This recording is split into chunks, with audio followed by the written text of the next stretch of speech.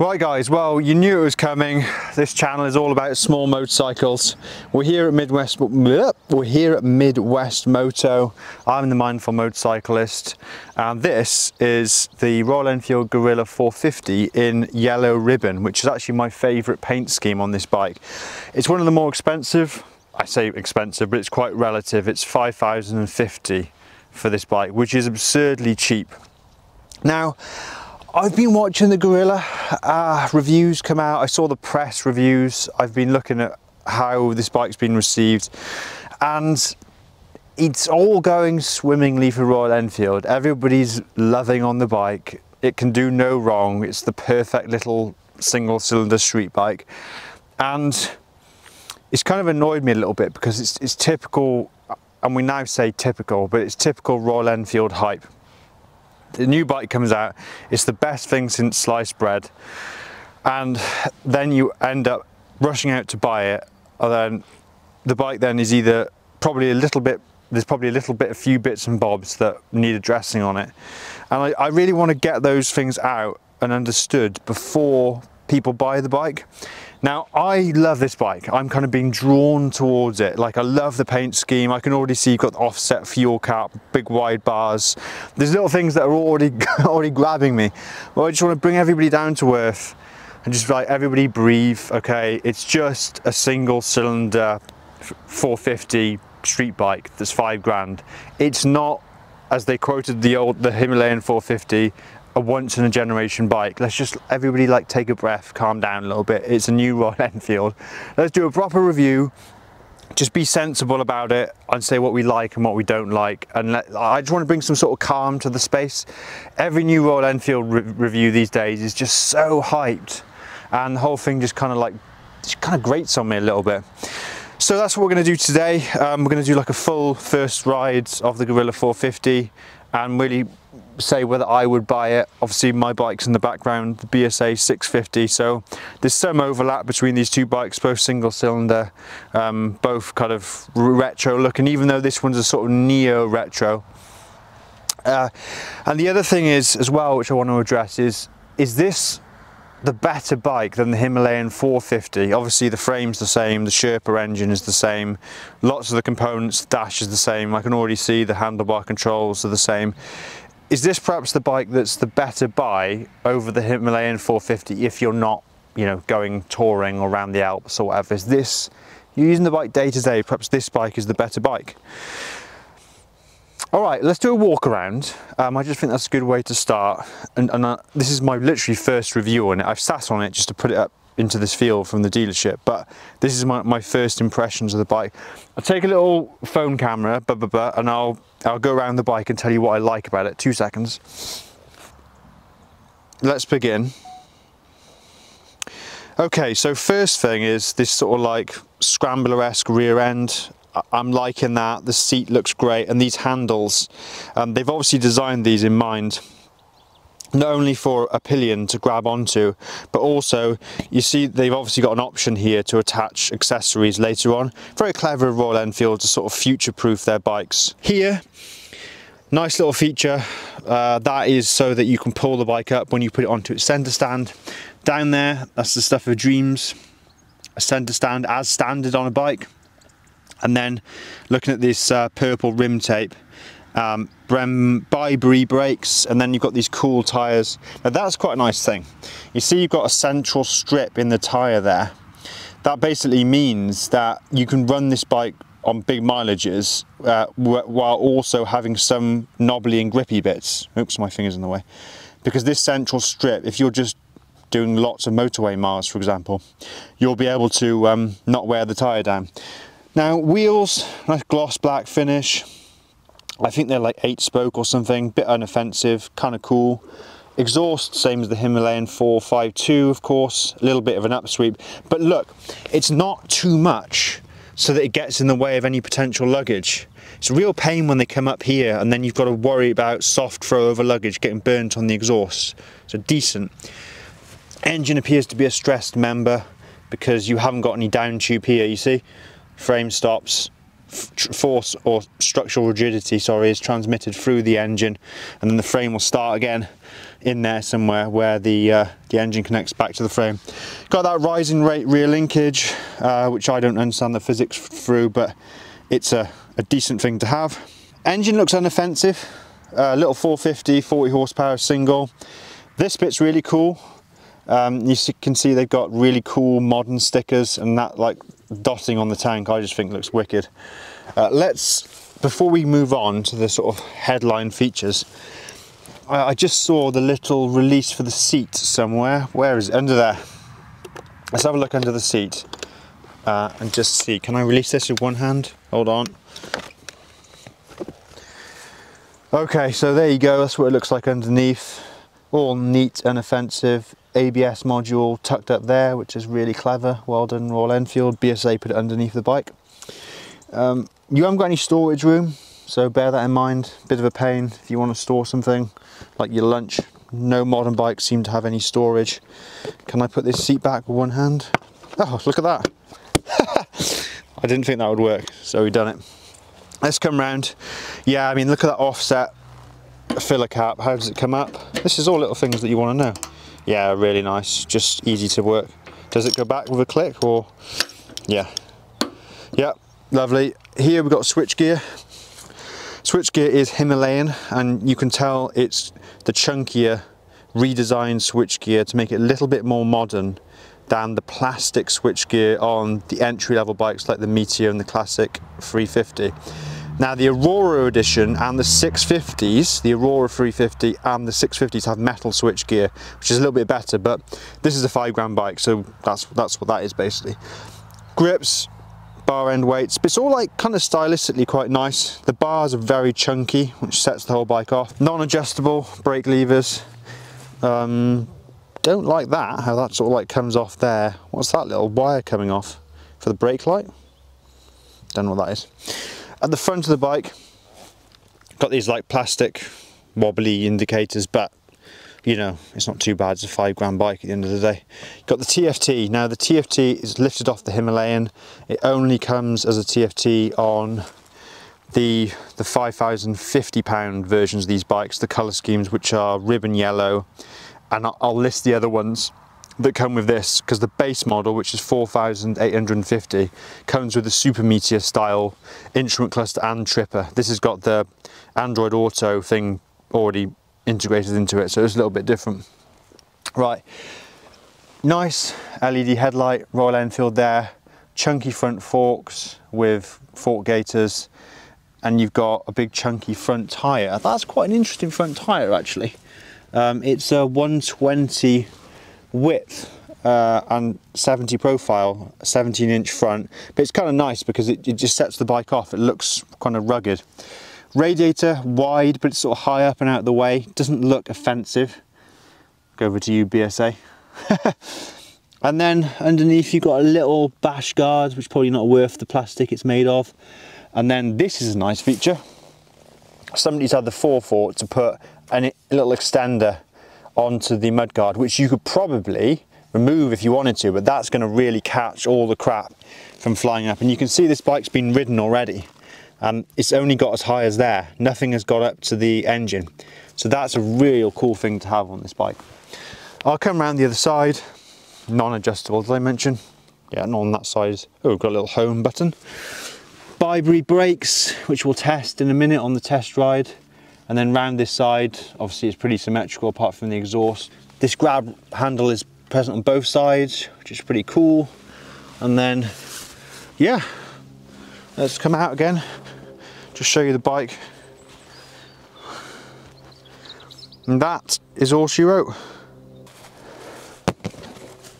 Drop my phone, never mind, at least there's no horseflies. Right, so we've had a walk around of the bike, showed you my first impressions. I want to love the bike already, but let's let's see how it rides. Just pay attention to sort of the the things like the jerkiness of the throttle, any vibrations. Everybody has said in very superlative terms how well handling the bike is. It's Royal Enfield's second bike with a 17 inch front wheel. First one was the Hunter 350. This could be potentially a bike that you upgrade from from a Hunter. I mean, it's an obvious upgrade, isn't it? Already I do like it more than the Himalayan. because I like my bike small. This bike is 184 kilos. I'll just get on it. Let's just get on this bike. So the seat height, very accessible. Uh, I can I can flat foot the bike. That's what my feet look like in the riding position. The tank is, is really cool, very sculptured. The, the stickers I think are under the lacquer, which is, is really nice to see. Yeah, it's just it's just a lovely thing. Um, little USB there, um, 5 volt, 2 amp, USB-C. Um, did you know, by the way, that USB-C can actually transmit a lot higher voltage than USB-A. That's one of the advantages of it. It's not actually a format change. It allows uh, higher currents and higher voltages. So I didn't know that. Yeah, um, that's it really. Riding position, seat's pretty comfy. The center stand is huge, very chunky. That's going to help if you put the bike down in soft soil like I do on this field.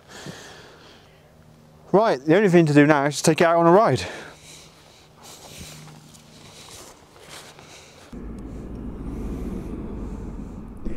Well, that's cool when it starts up. From the starter. I've just come to the busiest road in the world, so. Right. Whoa! Now, I'll tell you the first impression is um, it instantly feels lighter and revier than the Himalayan 452. Uh, obviously that extra weight it sheds, I think it's got about 10%. Yeah, that's great fun. It's got a 10% um, weight advantage over the Himalayan. 184, I think the Himalayan's just under 2. So maybe 8% or something. You can feel it. Whoa, yeah. And the front brake is exceptionally sharp all Royal Enfields are starting to get that now uh, when they come out I remember the shotgun front brake was pretty potent. Yeah drop down a second.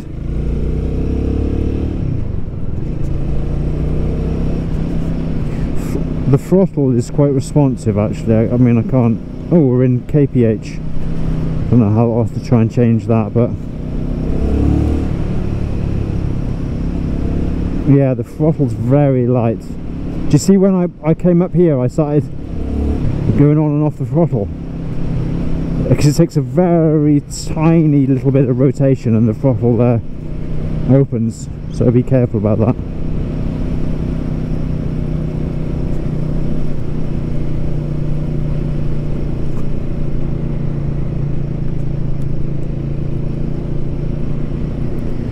I'll wait till we get past the dog inn, the dog at Dunley. Everybody knows that.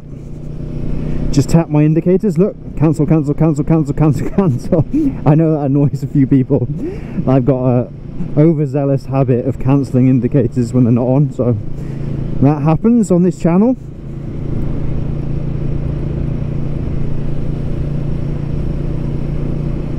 Chug, chug, chug, chug, chug. Here's the sign that says 30. We're looking for a following sign, white with a black stripe down the middle, which means national speed limit. For those of you who are watching from America or whatnot, this means 60 miles an hour or 100 kph on my clock. Whoa, nice revy engine. When you get up to six, it surges. Way! Whoa, it's really fun actually. Brakes are phenomenal. Let me try the rear brake. Whoa. Okay, not as potent as the shotgun, but the front is devastating. so you got a couple of things play in play in my first initial experience. One is the throttle's incredibly light, so a tiny little bit of input and whoa she goes forward it's obviously set up to be yeah I go around this bend now. You can literally throw this little thing around the bend. I'm in fourth now. Fifth? There's 100 kph it's one of those bikes that's fun to go fast on but you're not going that fast. You know like the the Indian FTR that we rode. That was just devastatingly fast but but too fast this you can have loads of fun. And you're not breaking the speed limit. You can tell it's a little bit low on torque compared to other bikes because I'm in the fifth there coming up the hill. Wide open. It's creeping up but it's not sort of surging forward like you would with a bigger displacement engine. Cancel cancel cancel. Keep doing that the other thing to note is the faster I go the worse the wind noise is so I'll probably stop doing that um, for you guys. Sort of racing towards the horizon. I will go around this bend a little bit faster. Whoa! Whoa! The front brake is so powerful on this bike. It's only a single disc probably 300 millimeters but it's got so much bite so whoever designs the brakes at Royal Enfield they're on to they need a, they need a pay rise or something because the last few bikes the shotgun was devastating so powerful. And, and it's not related to brands because you can have Brembo brakes or ByBre brakes the Brembo sub brand and it's not it's not kind of like dependent on whether the braking system's good or not. ByBre I think is as good as Brembo so 40 miles an hour is about 70 70 kph. So as I come into this little little uh, urbanization here I'll downshift just to give you a little bit of the engine note don't pull out. Cancel cancel cancel. It's a very light gearbox. No one behind me so it might be time to do the little jerky on off test. You know I'm doing it. I'm doing it. Bloody hell.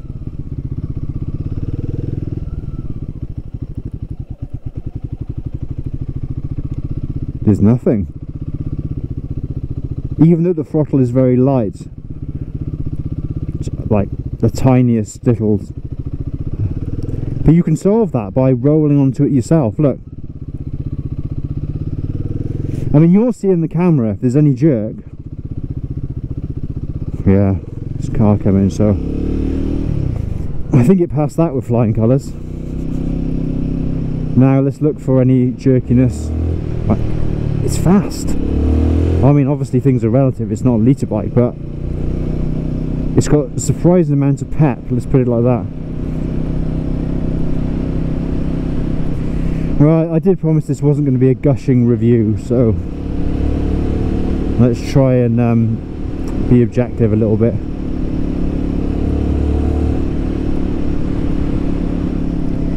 This is a bit weird look at that. Wobble wobble wobble. Is that on? It's got no tactile nuss at all. Drop down through the gears. Stop here. Now nice low seat height.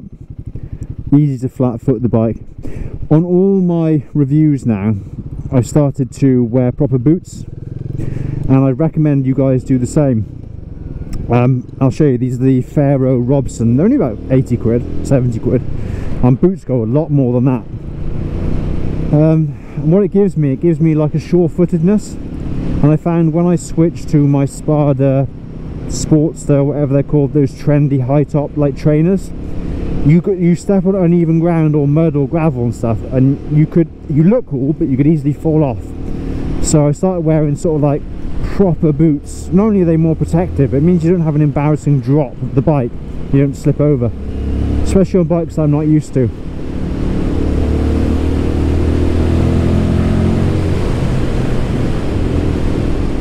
Okay, so my original question, would you buy this bike or the Himalayan? Definitely buy this bike.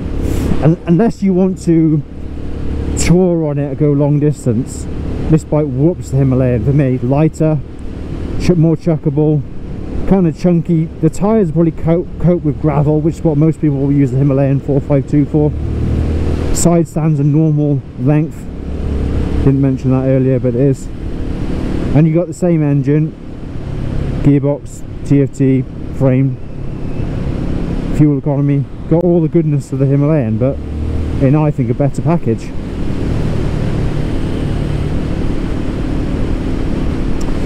I mean, the problem is, is that everybody gets so hyped about these bikes, and you've got to take a moment and remember that this isn't the first 40 horsepower single cylinder bike. I mean, Zontes, the GK 350, that's cheap as well, four and a half grand. Um, it's got a proper TFT that you can put YouTube on and weird fancy stuff like that. You got the Triumph Speed 400, of course, which is selling like absolute hotcakes. And in a way, that bike beat Royal Enfield to the punch because they sold 300 bikes a month for six months.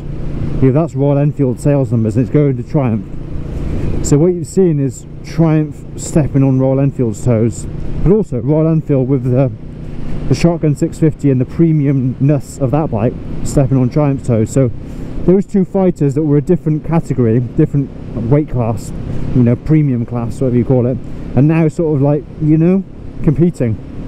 Very interesting to see. Um, and then the other bike, which is also a 40 horsepower single, is the Fantic Caballero 500. I mean, that one's priced out really, so we can't really compare that. Um, and don't get me started on Fantic. I think they're in, in, in a world of trouble because they don't sell. They didn't they didn't sell before, and that was prior to the Speed 400 and this little uh, Guerrilla 450, uh, and they're way too expensive. So um, you're really talking this bike or the Speed 400. So I have ridden the Speed 400 um, all over Portugal, or well, not all over Portugal, all over the Algarve. I really enjoyed it. I would probably lean towards this, and I'm just going to own up to it. I'm more of a Royal Enfield fanboy than a Triumph fanboy. I have a Triumph, okay, so don't like get me wrong, I own a Triumph motorcycle, my Daytona. But as far as their modern retro range goes, I'm not really that into them. And I think the Speed 400 is great, it's just not a bike for me. I can't really put, put a thing on it why probably it's a little bit buzzy. And if you think that this bike's got 12 13 percent more displacement so if you can maintain the same weight while having a little bit more displacement a little bit more torque um, then you're onto something. Now I don't know whether uh, this bike has a lighter flywheel or something than the Himalayan. If the pickup is, is insane like for 450 cc's They've done something similar with the shotgun, you know. The shotgun was felt more faster than it's more faster. I'm supposed to know English. Let's just go with it. More faster. The shotgun felt round this little bend. I actually commented exactly here, this section of road. Look at that. Whoa! A little bit of G-force. Oh, 30. Stop messing around. Got confused then. Right, slow down. Um, the shotgun felt fast as well. So have they changed the flywheel on this little thing? Probably, I don't know. So we can say for a street bike, this is now a strong contender. It's insanely cheap. I love the colours of yellow ribbon and it's very chuckable. And the suspension is nigh on perfect. It's kind of non-adjustable, but I, I'm, I'm a kind of non-adjustable suspension chap. I don't I, I've never I don't even understand what knob does what to be honest. This little one a compression and rebound. Is like just give it let someone at the factory choose my suspension and I'll just ride it like that because they know what they're doing more than I do. Um, so the suspension for me feels great. What you'll get with Royal Enfield as well is a whole load of dealers a whole load of aftermarket support uh, you'll get good owners clubs groups camaraderie. You've got the whole whole thing really. But anyway I was trying to make this not a review that I was sort of like gushing all over the bike. So what we're going to do drop down the gears. I'll rev the bike out in the gears see if there's any vibes. Nope. It's really weird because on the Himalayan 452 I had I had a proper vibration spot in third but here none obviously I've got the sort of like standard vibration for, from the seat because it's single cylinder a little bit in the pegs mirrors don't blur until about 8000 So they do blur eventually, but you've got to be, oh, see the throttle almost got, got me then. Very light throttle. but that's weird, because the difference between this bike and the Himalayan. Himalayan was very, um, not very, but it had a buzz. At three, in third gear, at like five and a half, there was a definite buzz. Slow down. Now. I'm really uh, getting so excited with this bike. I need to sort of like keep checking that kilometers. It's confusing me.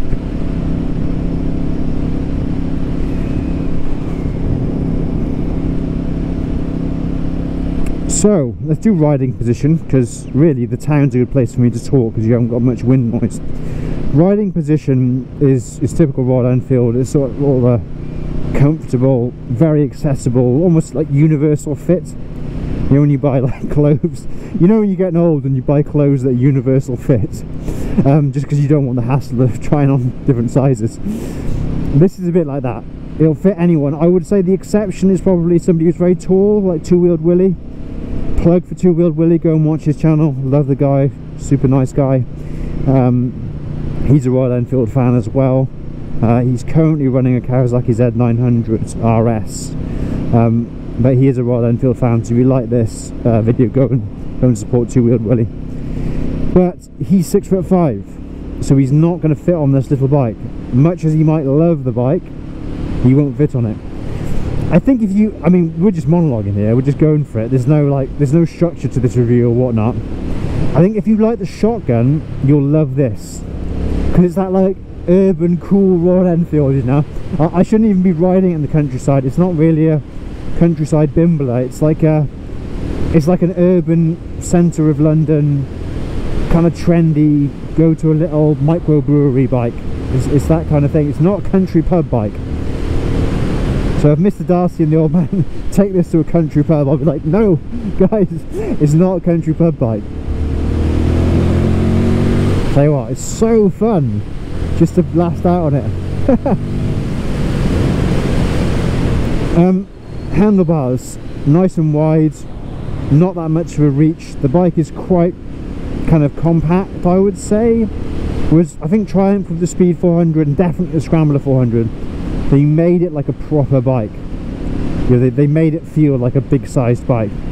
But this is is like 10% shrunk compared to that I would say. Which I think is great because I prefer small lightweight bikes. Um, this is really the kind of riding I'd love to do you know. This is this is the sort of stuff of dreams for me is riding a, a, a peppy lightweight bike. Now it's not as lightweight as it could be and Royal Enfield as Nick J will remind us never makes a lightweight bike. It's just not in their design ethos to make a bike that's that wins on lightweight. They always are really to be honest a little bit heavy. Um, but that's not really a, a, a, factor when you buy a Royal Enfield. The, the Hunter 1.8 180 181 kilos. This is 184 but obviously the hunter had 20 horsepower this has got 40 so what's three horsepower what's three kilos when you've got double the horsepower? I'll get over the acceleration of this bike. Should we fiddle with the dash a bit so I've got like a home button there. That's hazards. Mode let's press mode. Oh Mode change denied, retry in ignition cycle. So you obviously can't change the riding mode you turn the bike off and on again. Um, I guess it's got sport and economy, kind of pointless on a bike of this power output. I love throwing this bike around the bends. Tyres got loads of grip. I think we're over complaining about CEAT tyres now. Can we just stop that? I don't think I want to, I've never seen it, well not never but not in a long time have I seen comments complaining about CEAT tyres CEAT are just as good as anything else I had Pirellis on my bike and they were crap so let's just say that CEAT tyres make great sticky rubber. I think they do. Oh what's this? Little button. Does something little joy joy button thingy majiggy. Oh hello. I've got some settings here. It's hidden next to the horn but under the indicator. Fuel range fuel consumption. And that's kilometers per litre so we need to change that. Battery voltage which is full because don't forget we're riding the bike so we're charging service, engine temp. That's weird, doesn't cycle through. If you keep pressing down, you get stuck at the bottom. All the way up. Trip one, trip two. So let's see if I can reset. Oh. Settings locked while riding. They just came up. This is weird. I think I'm better off with the old-fashioned one. Thing there, thing there, the, the manual analog clock counter, that little tripper. Don't have all this gubbins, it's just confusing and I basically can't work it anyway. Oh, look at that. 137 for unleaded. haven't seen that in a long time. Oh, we're indicating. Pop in here. Guy in his Honda VFR. Now watch this. Oh, I got neutral that time. I was trying to show you that neutral's hard to find, but obviously it's not that hard because I got it straight away. The side stand goes down. A little bit of a lean, but not horrific. Off. Get these gloves off. Now I, you'll notice that I'm wearing proper gloves, and I get it. They don't suit the bike. Well, maybe they do actually kind of carbon fiber, modern, trendy. I started wearing proper protective gloves. Uh, so you might have noticed that I'm not wearing those tiny little things anymore. Um, so we are going to wear these in a little bit, get them a bit more comfortable, start using them. They're a little bit warmer as well.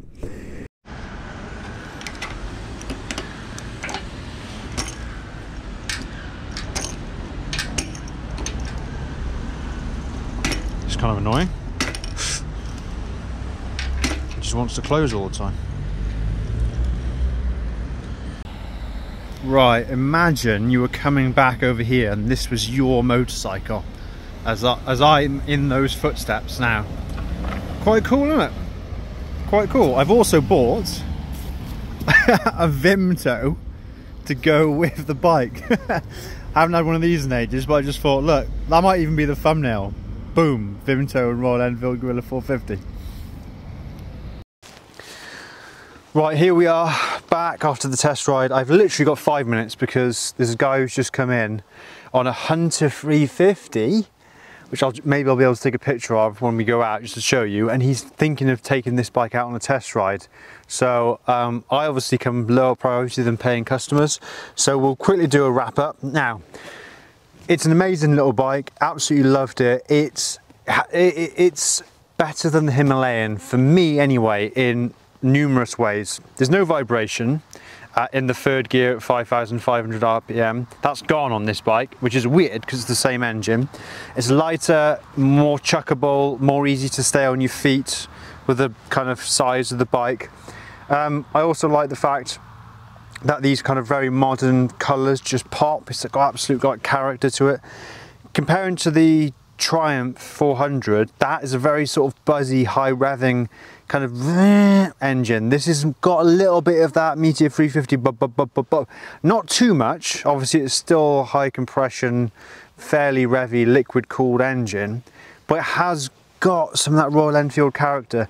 I would also pick it over the Triumph Speed 400 because it's got, for me, it's I prefer the brand. I just love Royal Enfield more than I love Triumph. So unfortunately, sorry, Speed 400, I would go for this bike over that. Now, there are some downsides. The thing with the fuel tank was a bit weird that it kept shutting on itself. Um, that, for some reason, just seemed to be, it's very finely balanced. Silly thing, I know, but that's that did that.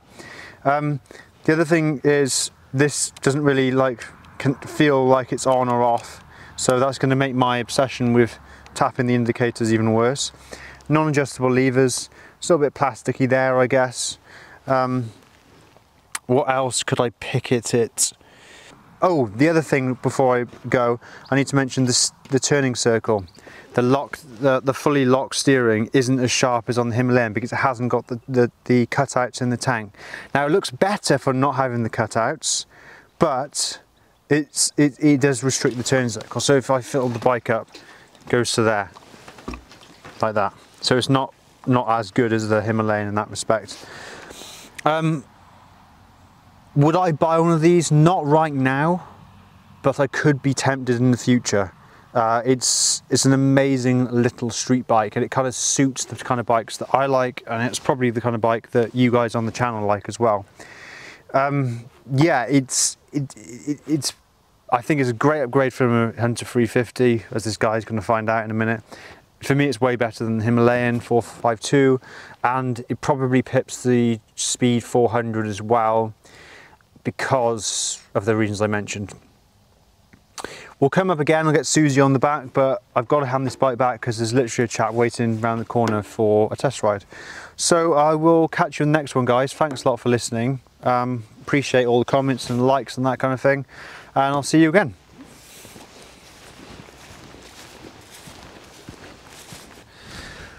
Right, we'll do a PS, a little bit of extra info. The chap has now gone. I've I've given back the uh, Guerrilla 450 and I just wanted to mention the, the, the throttle response. The, the, key characteristics of the Guerrilla 450 are quality, that they're just, it kind of knocks out the park in, in braking, devastatingly powerful brake for such a lightweight bike, handling, grippy tyres, 17 inch, nimble, can chuck into bends, lightweight, and the, the final thing is throttle response and pickup. It feels like uh, like we used to do back in the day, lighten the flywheel of a car. It's just so revvy and you open the throttle a tiny bit and the bike shoots forward. Now, you could also put that perhaps in the in the downsides category as well. The throttle is so responsive. Um, we also check the standard things that I always do, like the jerkiness on off the throttle, no problems there, and also the vibration, which as I mentioned doesn't have it, um, especially compared to the, the, the Himalayan 450. Yes, it's a bloody brilliant bike. It might be my favourite Royal Enfield. it's not classically styled, which is a bit of a pain, but even that said, I've just, maybe I'm just head over heels with the, what I'm going to call it now is the Vimto paint scheme.